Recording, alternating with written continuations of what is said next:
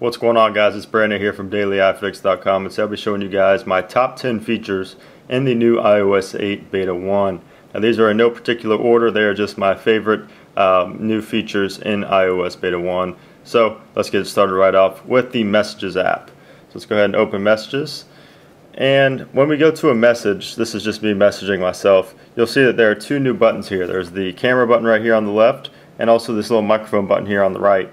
And those are actually to send voice and video messages. So if I wanted to send somebody a voice message, all I have to do is hold this, and as you can see, it's recording right now. And right when I stop, you can play it back by clicking that. Hold this, and as you can see, it's recording right now. And right. Okay, so you just heard my voice, and if you hit the X, it will completely delete this voice message and will not send it. But if you hit this up arrow, it will send it right away. And as you can tell, this will actually play inline, which means it will play in the actual Messages app. So if I go ahead and click that, hold this, and as you can see it, as you can see it played in there. But now on my iPhone 5s, which is on iOS 7.0.1, as you can see, I will have to open it up in an external screen and play it using QuickTime. So it is inline and it's the same with videos. If you want to record a video message, as you can see, that's me right there. If you go ahead and tap this video right here, as you can see, it'll start recording right up here. And if you wanted to stop it and play it back, you can click the little play button right there, or, and you can send it by hitting the up arrow, or you can delete it by hitting the X. And again, the videos will also play inline, and you will not have to open an external screen. Another cool thing about the Messages app, up here, the Details button, down here it will show all the attachments sent within the uh, sent within the conversation. You can do not disturb a single person uh, in text messaging. You can also share your location and uh, send my current location. So you can send uh, locations back and forth to whoever you're texting and that will just be, the location will only be available to that person you're texting. Some other notable features in the iOS 8 Messages app include predictive text, aka QuickType, which is actually like Android. It has a box down here below the message where you type normally. So it'd be right below these F's. There'll be a little box that shows, you know, what you might type next. You can go ahead. So if I wanted to type there, if I type T and it sh it'll show up down here so if I click that little box hit there it'll automatically pop up in here um, similar to Android and multiple other devices that you've seen before. Another important feature in the Messages app is the ability to leave group chats or mute people. You can actually turn notifications off for certain people. You can kick people out of group chats. You can rename the group chat. All kinds of cool things you could do with the group chat in iOS 8. The next feature is Quick Reply, which allows you to reply to text messages via the home screen or the lock screen. So let me go ahead and send myself a text from my iPhone 5S. And as you can see right here, we'll just swipe down and you'll be able to send it without opening the Messages app. Makes everything a lot easier. But one thing that I did notice that could be a vulnerability and people will not like is that, as you can see, I have a passcode to get into my uh, device. But if I send a text message, it'll pop up right here. I can slide and I can actually reply without even putting in the password.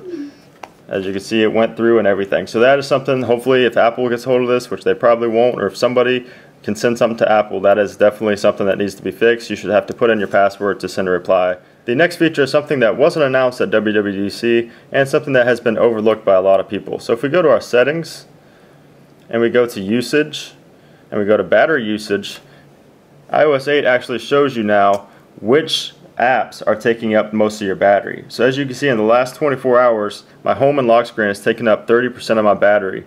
My camera and location has taken up 24%, messages 17%, etc., etc. Last seven days, uh, the messages have actually taken up the most in the last seven days. So as you can see, it breaks it down uh, individually by which apps are using the most battery, which is really cool. And that actually takes out, uh, you know, that'll eliminate some apps out there that have tried to accomplish the same thing. This is now native in your uh, native um, settings app. So it is very easy to get to and very, very informative.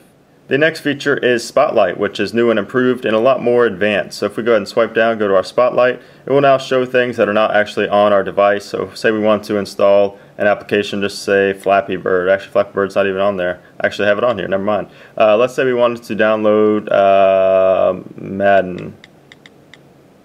As you can see, Madden NFL 25 by EA Sports in the App Store. It will show up right there. And it will also show a Wikipedia page uh, for Madden 25. And if we go down, you can also search the web and search Wikipedia. So as, as you can see, we'll go to the App Store. It'll open up really quick. It won't actually open the App Store app. It'll just open it inline in the uh, in the Spotlight launcher. So it's loading up right now. Of course, it's going to take you to the App Store and you're going to be able to download it straight from there. You could actually go directly to the store up there if you wanted to. Go ahead and hit cancel. It'll take you right back to here. So it's really cool. You can search for movies and all kind of things. Um, let's say, what's that new, oh, it's 22 Jump Street. That's coming out soon. Let's go ahead and look at 22 Jump. As you can see, it'll, it'll, pop up a Wikipedia before you even finish typing it. So go to that Wikipedia. It'll open it up inline right in the Spotlight application or in the Spotlight right there. See full article, see 22 Jump Street on iTunes, etc., etc. A lot more advanced, uh, a lot more useful, um, and it's very, very cool. Very easy to navigate to things quickly. Very easy to look up things on Google, Wikipedia, things like that. The next feature is actually an app called HealthKit, and this is something that has been widely talked about and pretty much highly anticipated. I mean, a lot of people, even if you're not into health, are pretty interested in this because it can be revolutionary. Basically, it allows you to gather all of your fitness and medical data from third-party applications like Nike Plus or any kind of nutrition app. And basically, it just ties it in. You'll have a dashboard that'll show everything at your fingertips. You can actually go in depth right here and look at all your lab results, medication, blood glucose, etc. Medical ID will actually show your medications you're on and all kind of things like that um, sources. This is where I'll show all of your apps that you have tied in to the HealthKit app. Again, there's not much you can do on this application because you know not many apps are tied in with iOS 8 and or HealthKit yet. So it's going to be cool, but we'll have to wait for the final build of iOS 8 to see that in action. The next feature is Siri. Siri got a big makeover. Uh, most of it's underneath the iPhone you don't actually see it. It's actually a lot smarter now and it'll actually uh, have voice activation. So if you say, hey Siri, it will actually launch Siri. Of course, that doesn't work right now because it is not the final build of iOS 8. I'm not sure why they didn't put it in the uh, first beta of iOS 8, but it does not work when you say, hey Siri.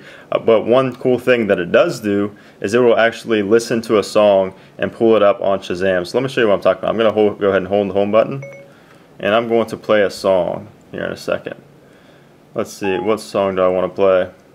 I don't understand, and I'm going Okay, I know you don't understand. Hold on one second. I could search the web for it. I'm playing this on my speaker, so here we go. We're going to hit this.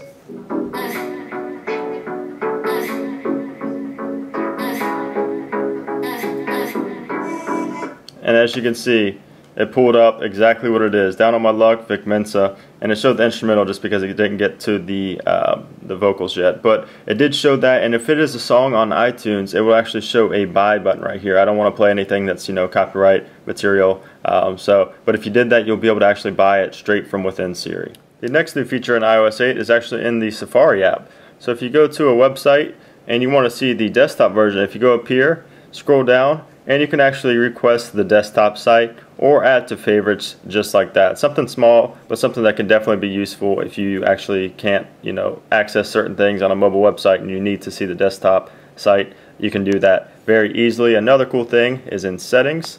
If you go to Safari, there's actually a new search engine called DuckDuckGo.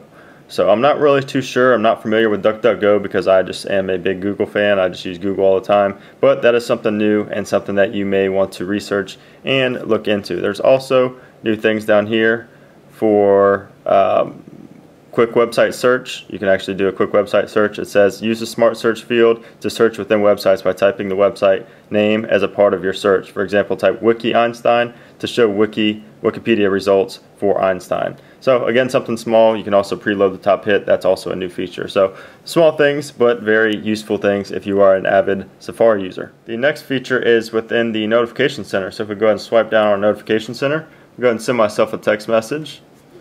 And as you can see, if you swipe left, you can either mark it as read or reply. Both of these will actually remove it from your notification center. So I'm going to go ahead and mark that as read. And as you can see, it just cleans up the notification center, makes it look cleaner and less to worry about in there. Something small, but something new and something that will make your life easier. Another thing with the notification center is that there will be third-party widgets when the final build of iOS 8 finally comes out. There will be widgets like ESPN, eBay, you know, websites like that where you can actually you know, interact with the website via notification center and not have to go to the actual website. So we'll have to wait for more information on that, but it is definitely a cool feature to look forward to. The next feature is within the camera app. So we go ahead to the camera app. As you can see right here, you can see my lovely chair and my picture. Um, So if in the camera app you actually ha now have a new feature besides photo, video, square, there's actually something called time lapse, which will make a time lapse as the name says. If you go ahead and tap that, it'll actually record a video and as you can see I just got to make some movement so you can see and it will actually speed it up uh, significantly so it will look like a time lapse. So this would be cool, you know, to record something like in the city, New York City, Vegas, something like that. All the people walking around, it will look really cool. So as you can see, this is going to play Oops. Uh, was that it? Yeah, that was it. Okay. Go ahead and play. As you can see, it went by within, you know, two or three seconds. So it's really cool if you, like I said, in the city or something like that, something where it's going to be a lot of movement and a lot of activity it would be really cool. Uh, but, you know, right now I really don't have a use for that, but if I were to travel, I would definitely use that. So it is a cool addition. Also, you can now adjust the exposure manually. So if you go ahead and tap somewhere, you see that little sun icon right there. Let me zoom in real quick so you can see that up close.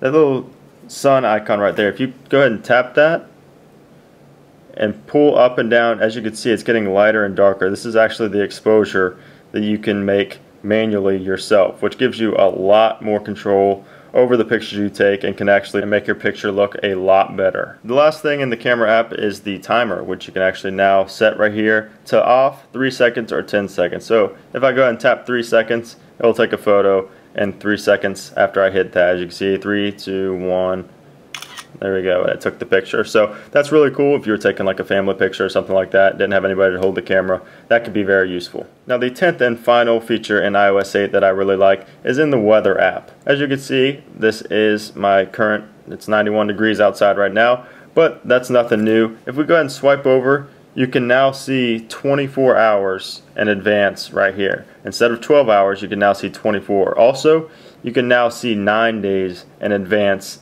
on the uh, weekly forecast.